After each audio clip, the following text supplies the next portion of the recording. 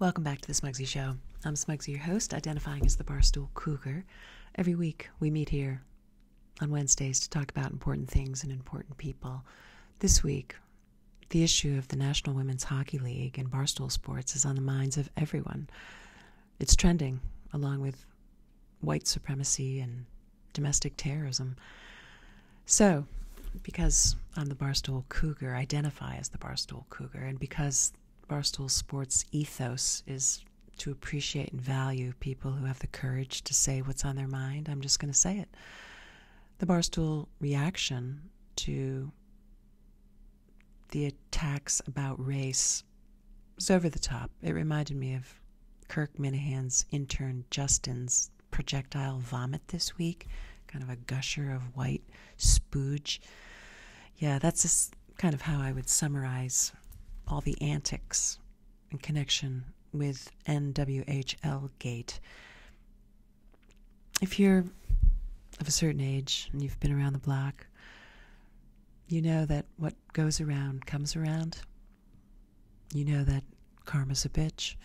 Well, I just remind you a couple years ago, after 9 11, Dave Portnoy was caught on a video comparing Colin Kaepernick to terrorists because of the color of his skin, and he suggested that it was just kind of a natural reaction to his fear about terrorism, almost as if, you know, it was to be understood. Well, Dave, um, hello. Wall Street Journal today.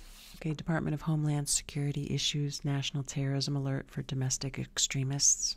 Course, this is on the heels of the January 6th insurrection by white you know, white supremacists. Um, it's it's a real issue, and so you can't help but forgive maybe young impressionable people who are 22 years old, say, and female and black, and they see um, like really angry white guys ranting, and them making the connection. Oh, angry white guy, white supremacist. So, you know, it's like the pot calling the kettle black. Dave, um, it seems to me that um, what Ben Shapiro said today about some of the liberals applies equally to the Stoolies. I don't usually quote Ben Shapiro, but he said, You fragile little babies. I mean, so Barstool Sports gets called out about you know, race and um,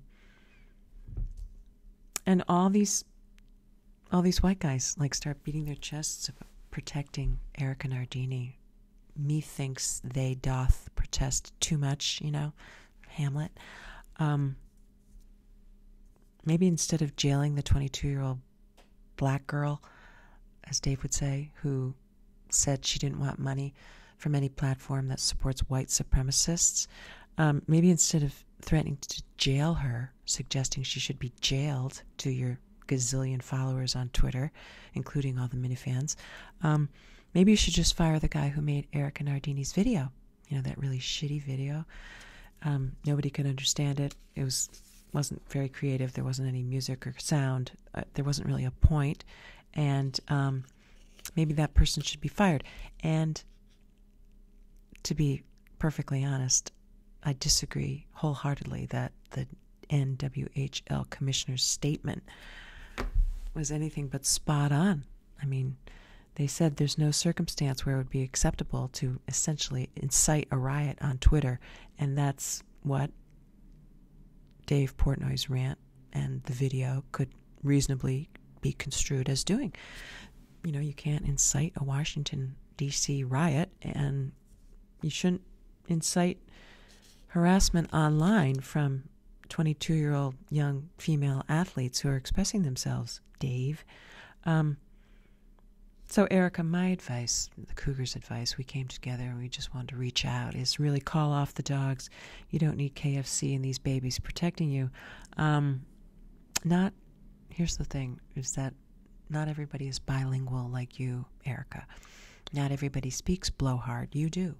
See, you hear Laurel they hear Yanny. Um, you hear Dave and his raising money on the Barstool Fund and doing all these good things. Um, they hear something else.